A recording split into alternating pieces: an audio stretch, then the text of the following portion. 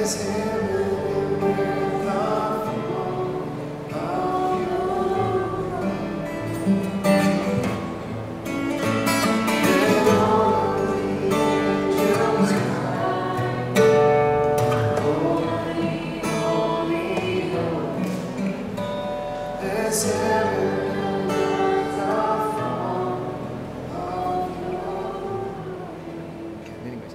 says this Matthew 26, verse 47. and while he was still speaking, behold, Judas, one of the twelve, with a great multitude with swords and clubs, came from the chief priests and elders of the people. Now his betrayer had given them a sign, saying, Whomever I kiss, he is the one, seize him immediately. He went up to Jesus and said, Greetings, Rabbi, and kissed him. Jesus said to him, Friend, why have you come? Then they laid hands on Jesus and took him, and suddenly one of those who were with Jesus stretched out his hand and drew his sword, struck the servant on the high priest of the high priest, and cut off his ear. But Jesus said to him, Put your sword in its place, for all who take the sword will perish by the sword. Or do you not think that I cannot now pray to my Father, and he will provide me with more than twelve legions of angels? How then could the scriptures be fulfilled that it must happen thus? In that hour, Jesus said to the multitudes, Have you come out as against a robber with swords and clubs to take me? I sat daily with you teaching in the temple, and you did not seize me. But all this was done that the scriptures might be fulfilled. Then all the disciples forsook him and fled. Will you pray with me, please?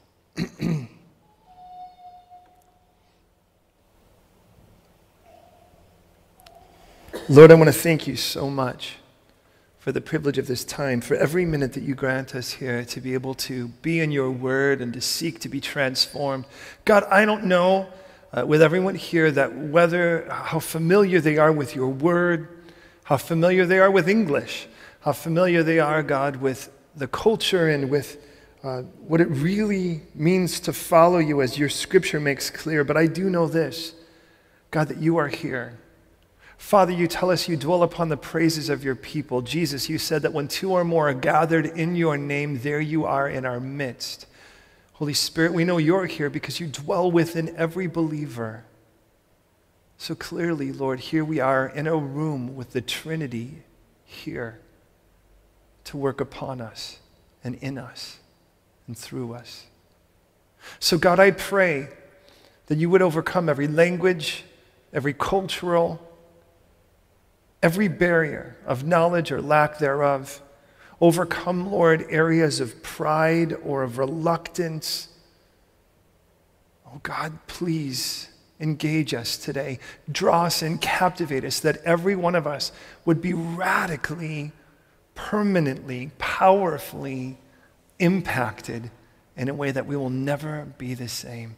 And God, if there be any who have yet to say yes to you, any that have yet to accept the gift of Jesus Christ on the cross, as payment for their sins, and the, and the de- declaration of his lordship as, a, as the result of his resurrection. God, I pray today that your Holy Spirit would convict, convince, do your work, Lord. Let every word be perfectly spoken.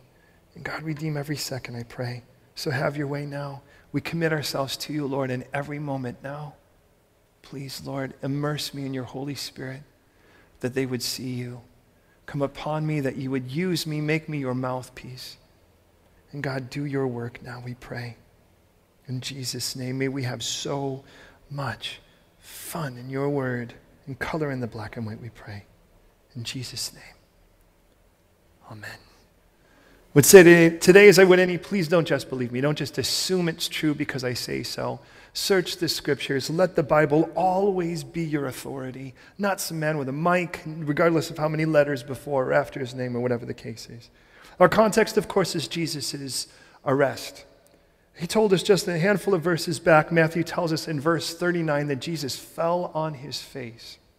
And as he fell on his face, he prayed, Father, if it is possible, well, then let this cup pass from before me. But nevertheless, not as I will, but as you will. And we see the perfect example of, of you will, of surrender and of submission, where there are definitely conflicting wills. And yet, in the end of it all, who has the final say? And then he comes a second time, prays the same, and a third time. And in between each of those, he finds Peter sleeping. As he finds Peter sleeping, his response is interesting. He says, What?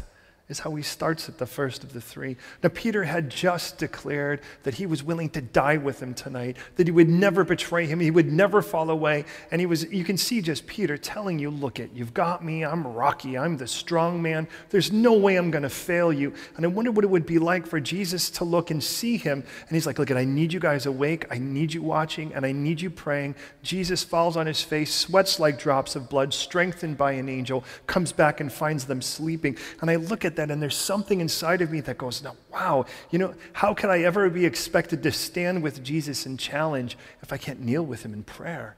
And, and, and that's what we see here with Peter. And in that, then, as this is the case, Jesus then, after the third time, looks at them, and they've gone from sort of nodding off to sleeping to heavy sleep, is sort of the, the digression. And then at the end of that, Jesus wakes them up, and he says, then in verse 46, our verse prior, he says, Get up literally, rise, let us get going. See, my betrayer is at hand. In verse 47, he says, Then, and as, or and, while he was speaking, and then we have this single word that is often looked past the word behold. Now, the word behold is the key to all of this in many ways. The word in the Greek is the word idou. Idou, in the simplest sense, means like observe this, like, yo, check it out. But understand this word, when written in context like this, says that it's something that should elicit a wow. There's something about this behold that you realize causes the person who is observing, the observer, to look and go. And throughout Scripture, God has used this term. And David would say in Psalm 139, verse 8, If I ascend into heaven, you're there. If I make my bed in hell, behold, you're there. And you get the idea that David's like, there's so many places. In that whole context with David, he's going, Where could I possibly run from you? I mean, I could try doing this or that. I could run to the farthest places of the earth. And, David kind of goes, You know, there's just no place I can outrun you. But if there's any place that is the most godless place that exists anywhere, you would think it'd be hell. And what David says is, I could even go to hell. And he goes, I just can't get away from you anywhere. But he doesn't say it like, Wow, that's a terrible thing. The whole Psalm 139 is a celebration of his intimacy with God. You've searched me and you know me. You know my rising up and my lying down down in my thoughts from afar. There's nothing I can do or think or say in any manner that you don't know ahead of time. You get all of that. And so when David says this, get the idea of a guy that constantly seems to be in a state of wonder. When I consider the work of your fingers, the sun and the moon and the stars that you have made, there's a wow there. You know, there's the, oh Lord, oh Lord, how majestic is your name in all the earth. But when he says, in all of those things, he kind of goes, this is the normal wonder. But he goes, you know, if I just, if I tried to run to hell, he's like, you're even there. And you could see David going, Wow.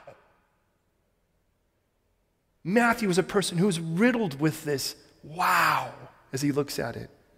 Back in Matthew chapter 1, verse 20, it's like there was a Joseph who was contemplating a situation with a girl he was betrothed to that turns out to be pregnant. That's not normal, uh, certainly in that culture. And it says, and then an angel appeared. But it doesn't just say an angel appeared. He gets the idea. He goes, now, behold, an angel appeared. In other words, it isn't like every day an angel shows up at someone's house. I don't know about you, but he doesn't, does, I don't get that. I don't get sort of normal angel visits. But you get the idea. This guy was there contemplating, what am I going to do with this fiance of mine, if you will, this betrothed? And he goes, and an angel showed up. Wow. And I love the fact that what Matthew is trying to elicit in us is something that in the European culture we try to avoid. We try to avoid being awestruck by anything, unless it's, of course, you know, some form of superstar, so to speak, that people love to be in wonder of. You know, it's sort of like everyone could be, you know, like, uh, it's like not important until a footballer or like Benedict Cumberbatch walks by. And then it's amazing how someone could become so ignited that just a moment ago was slightly above being in a coma. And the reason I say that is what Matthew wants us to get out of this is there are things that God is constantly doing that make you just go, if you were actually willing to. The next chapter, he says, you know, then there were wise men who showed up. Wow. Chapter 2, verse 1. And the idea was there's this baby laid in a feeding trough outside. And the wealthiest men in the world seem to show up there at this little baby. Wow. And he goes, and not only that, eight verses later, it's you know how they got there? There was a star. And it means like people go, well, there were these three stars that converged, and as they converged, it sort of shook. It's like it says that the star moved. That's what made Matthew go, wow. It was like they were following the star. The reason they were following the star is, strangely enough, it was moving. Now, today, that's not that weird. Have you ever done that? You go, wow, check out how bright that star is. And then you realize it's a plane. You're like, wow, it's blinking. And moving through the sky. Well, in those days, that kind of thing just didn't happen. And Matthew goes, wow, star. Jesus being baptized, the first 316 in the New Testament, Matthew 316. Jesus is baptized. He comes out of the, if you will, he rises up in the water, and it says, Behold, the heavens were open. He's like, Did you see that? The heavens were open, and the Holy Spirit, not as a dove, but like a dove, comes down. That means God chose to form in His Holy Spirit, and it was like a dove, and it landed and it stayed upon him. And he goes, Man, you should have seen that. Wow. Then he talks about the ministry of Jesus, Matthew 8, 2. And he says, You know, there was Jesus, perfect and holy and pure, and a leper came to him. Of all people, a leper came to him. And you can't get filthier and dirtier and more decrepit in that society than a leper. It would be like the 80s and somebody just inches away from dying from AIDS. It was confused. People didn't know what to do with it. They were freaked out and, and totally frightened. And in all of that, he's like, This guy showed up and he walked straight to Jesus and he goes, Wow.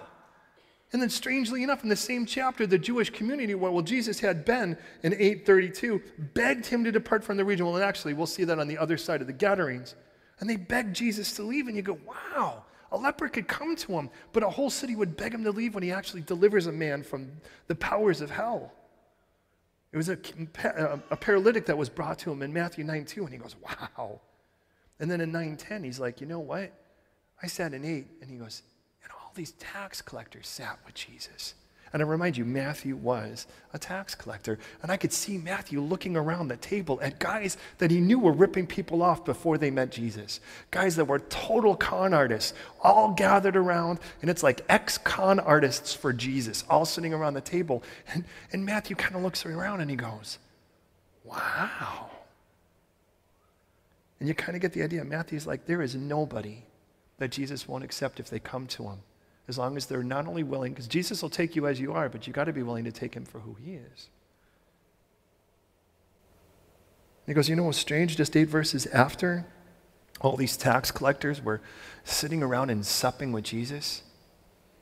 It was a ruler, a religious ruler, who came and came down and he worshiped Jesus and he begged them for help.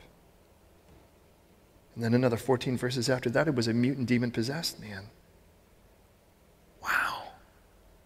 He goes, and then I was sitting in church, synagogue, if you will, in the day, Matthew 12, verse 10. He goes, there was a guy with a withered hand. Do you realize that if a person were to have such a thing, they shouldn't have been allowed, at least into the temple, and often the synagogues were considered extensions of that? He goes, this guy was in there. And then you should have seen what Jesus did. Wow. Then we went up a hill, five chapters later, Matthew 17. And there was Jesus. And then there was Moses. And then there was Elijah. Wow. I look at all of this. And I have to ask myself if the whole idea of this is behold, wow, do I still have a beholdable spirit? I mean, if God were going to do something amazing right here today, would I even be ready to receive that? Would I even be in the place today where I would actually go, yeah. Because I need to have that. And what's clear is these men that seemed to be simpletons that were pulled out to change the world were men that had beholdable spirits. And I realize that it'll be those beholdable moments that become the topics of conversation when we sit back later in life if the Lord tarries and go, Remember when? Remember when that girl was carried in Nigeria leg completely saturated in gangrene. And God would totally deliver her and heal her. Remember when a French atheist came in, hating God, suspicious of everyone, and what God did with him? Wow. Remember the angry, bitter, confused people that live their whole life fearful of the next conspiracy? Completely saturated in their insecurities? That found Jesus and got anchored? wow. Isn't that what life is like? I get why it says in the book of Acts that the Lord worked unusual miracles. And I'm like, wait a minute. Isn't a miracle, by virtue of what it is, unusual? But you get the idea that there was some place where the, some miracles had become so commonplace, they were not unusual miracles anymore. They were just kind of the ordinary miracles. And that's sometimes what happens at church. We get so used to this that it's sort of ordinary miracles. God changing people, transforming people, turning drug addicts into kind and loving people, angry, bitter people into just genuine, loving people. And you realize you still should be like, wow. And I'm going to ask you something. If we were just to take a moment before we even went any farther, could you think of any beholdable moments that God really made you go, wow, recently? I mean, let's face it, sometimes it could be as simple as a beautiful sunset. Last night I had one of those. The sun was setting. We've gotten, we've moved to Greenwich, and we've got this beautiful place that looks, it's tiny, but it's beautiful, and it looks out um, over the river. The sun sets in such a way that it turns the sky all kinds of colors of peach and amber, and we kind of just watch that. And I, am like, I turned off the light in the room just so that I could just see that and kind of, kind of bathe in that light for a moment. I'm just like, wow, so beautiful. But that's nothing compared to what I've seen in that God's done in people. Some of you that I've watched as of recent. And I realize that there's going to be a day when we'll look back and remember when there were a handful of people rubbing their hands together to keep themselves from dying of hypothermia, sitting in a room, studying the Bible, and it was simple. It was simple because it is simple. Following Jesus is simple, ministry is simple. I get why, after Jesus was resurrected, he brought them back to Galilee, to the mountain he had prepared for them. Because back in Matthew in chapter 4, before Jesus teaches the Sermon on the Mount, people just brought all kinds of sick people and crazy people to Jesus. It really didn't matter what your issue was because they just had this mindset if I could bring him to Jesus, he could fix him. And Jesus, I could see him after he's resurrected. He goes, Now that you've walked with me for three and a half years, now that you've seen my death and resurrection, now that all of this is in light of all of that, you need to recognize ministry hasn't gotten any more complicated. If you can get him to me, I can fix him. You don't have to be an expert in their issue to be an expert in their cure. I get it. But it's important to note that not all beholdable moments are good ones. Let's be honest. There are beautiful beholdables. Those moments I look back and I'm still just amazed. But then there are other moments, to be honest, I look back and I feel a great deal of pain that also made me go, wow. And that's what he's writing here. When Matthew was writing, and while Jesus was still speaking, behold, he's not saying behold because this is a good wow. Not every wow is, a be- if you will, is a beautiful beholdable. Some of them are bereaving beholdables, and that's what this is here. He says, while Jesus was still saying, My betrayer's at hand, he says, Judas, one of the twelve, with a great multitude with swords and clubs, came from the chief priests and the elders of the people. And his betrayer had given them a sign, saying, Whomever I kiss, he's the one sees him. And I realized what wowed Matthew here, in the simplest sense, was a who and a how. The who was this, and notice the way he writes it Judas. He doesn't have to tell you which Judas, because we all knew. He writes him as one of the twelve. And I kind of get the idea that this is Judas writing from a, I'm sorry, this is Matthew writing from a broken heart. It's like this was one of us. This was one of the people. I'm like for three years, three and a half years, we supped together. We saw Jesus do amazing things together. We were sent together.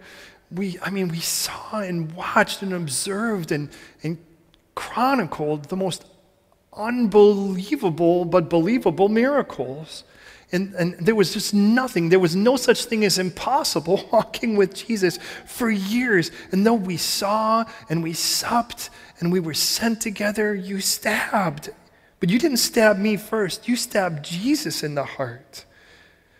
And I can just see Matthew looking and Jesus going, My betrayer. And the last thing that Matthew expects to find is Judas Iscariot. And he looks up and he goes, Judas? Wow. I don't get it. How could you, of all people, the miracles we've seen together for years. We've worked side by side. And for years, I had no idea that your heart really wasn't here. I mean, we sat under Jesus' teachings together. He sent us out, and we watched God do crazy, cool things. We were the crew together, we were tight. I mean, there are some people I could go, yeah, maybe that guy's a, a betrayer. Maybe that girl's a betrayer, but Judas, you? Wow. But it wasn't just that Judas came, it's who Judas came with. Judas came, in essence, with the SWAT team of the day. And I look at this and I realize it's like one of us now is one of them. And I could never saw it coming. It was like I blinked, and all of a sudden, you were in the other camp, and I don't get it. I don't get it. Wow. I could never have guessed this. That for years you've had this betrayal in your heart. Who knew but you and God? And the whole time we just assumed you were one of us. Wow. But it wasn't just the who, it was the how. Because you see, it tells us his betrayer had given this sign, whomever I kiss, that's the one. And then he just comes up to him and he goes, Shalom, Rabbi. And he kisses him just like anyone would on any other circumstance with someone they were intimate with. I mean, it's an interesting story, and it's better to tell it while Daniel's not here because it makes it more fun when he comes back in the room. But uh, Daniel's the one who gave the announcements uh, Daniel and, and, Hugo go to France. And uh, from the story, you can, you, Hugo can probably fill you in on all of the proper details later, but the way that I understand the story as it was told to me is that Hugo was approaching people he knows cl- closely. And because he's approaching people, because Hugo's from France, that, uh, that, you know, they kind of do the whole kind of hug and kiss kind of thing. You know, not like French kiss. I know that's you would expect, but I mean another kind of kiss on the cheeks on both sides because he's really familiar with these people. He's seeing old friends and family. Well, Daniel doesn't know the best of this. I mean, all he sees is this is how you greet someone. So Daniel starts to do the same thing. Well, Daniel doesn't know any of the people, so they're kind of you know who is this sort of Chewbacca of a fellow just trying to kind of kiss my face? So, and the whole I mean the funny part about it, of course, is the reason that was so weird was because this was a stranger, and strangers just don't do that. But Hugo wasn't weird. First of all, how could Hugo be intimidating? He's, you know, he's, you know, a hobbit. But, but also, but also just the fact that he's just kind of a lovable guy. And, and the reason I say that is, is that the intimacy that Hugo has with those people didn't make it weird at all. Because there was an intimacy time that had been developed and an intimacy that made them feel safe for them to do that. Now, Daniel doing that, on the other hand, they, I would imagine they probably, inside, if nothing else, were screaming words uh, in French. Anyways, all of that to say, that when Judas comes to the person, to Jesus of all people, it is amazing how nonchalant he is about the situation. As if Jesus, in essence, were the guilty one. And I just can't help but think of Isaiah 29 13, where it says that though my people draw near to me with their lips, oh, their heart is far from me. And God's like, I know this. Look at your lip service doesn't mean anything to me. I see where your heart is. And he approaches Jesus more than likely like he had so many other times And remember, Jesus is saying, Behold, my betrayer is at hand. Clearly, Peter is within earshot of Jesus saying that, so he's close enough to watch Judas come right up to him and kiss him. And Judas has to put that math together and go, Oh my goodness, this is who he's talking about. And the place that they did it in was a garden that John makes really clear Jesus had often gone to pray in. This was a place he had gone regularly to pray in. So all of a sudden I realize these people I felt so safe with, I don't feel safe with anymore because I could never have guessed this person could become this. Or actually, might I even say, this person was already this, I just didn't know. Boy, that had me fooled. And this place that seems so safe is no longer feeling safe to me anymore because this same place that was just a place of prayer and safety is now a place of altercation and arrest. It's a place of accusation, and it used to be just a place of peace. How did that happen? And it seemed to me like it happened like this. And all of a sudden, that safe place doesn't feel like a safe place anymore. And those safe people don't feel like safe people because once one person turns out like that, how do you know who the next one is? And if it could happen here, well, then where couldn't it happen? And Matthew's looking at this, he's going, Oh my goodness. I don't get it. Wow. How unreluctant, how intimate the betrayal the kiss. And at that moment, where do I look? Do I look at me and the pain I feel? Because I've been, in essence, I've been duped. I've been duped by somebody playing the role, but, but clearly it was just an act. Is that where I go? Because if that's the case, I'm going to crumble up and die. And it's a temptation because that kind of thing happens. Or do I look at Jesus? Because the difference is, Jesus is really the one that's the victim, not me. Yeah, I've been affected by this person's sin. Yeah, I've been affected by what they've done. But they did it against Jesus, not me. And here is a guy that says, you know, he's so confident and Jesus is into And I remind you, Jesus has already told him what you have to do, do quickly. Judas knows, Jesus knows he's the betrayer. And it tells us in John that Judas was the betrayer from the beginning. He wasn't a decent follower that got sidetracked and then fell into this. Judas always was a betrayer. He never wasn't, even though none of us knew but Jesus. But it tells us Jesus knew from the beginning who would betray him. And yet, Jesus obviously didn't treat him differently, or we would have known. And I look at this and I think, wow. Behold this. And Matthew looks and he goes, This is a moment I'll never forget. This is a beholdable moment. This is a moment, even now when I look back, I go, wow. It's like your whole reality comes falling down upon you. And you're like in some weird inception all of a sudden.